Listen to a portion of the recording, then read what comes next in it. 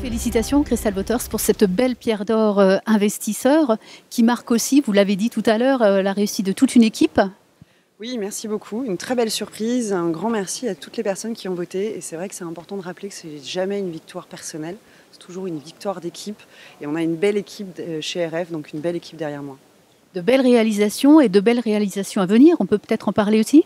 Alors on peut en parler, on est notamment en train de travailler actuellement sur le franchissement Playel aux côtés de Sogelim, sur une des gares du Grand Paris, la plus grosse gare du Grand Paris.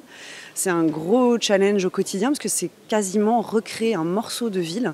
Et ça c'est passionnant et en même temps c'est une grosse responsabilité puisqu'il faudra que demain cet environnement résidentiel, hôtelier, bureau, commerce soit un espace de vie et de travail connecté de demain. Donc on se pose beaucoup de questions, c'est passionnant et c'est un gros challenge. C'est le plus gros projet de Inventons la métropole. C'est le plus gros projet de Réinventons la métropole. Ça a été des mois de travail. On est très fiers d'avoir remporté cet appel d'offres.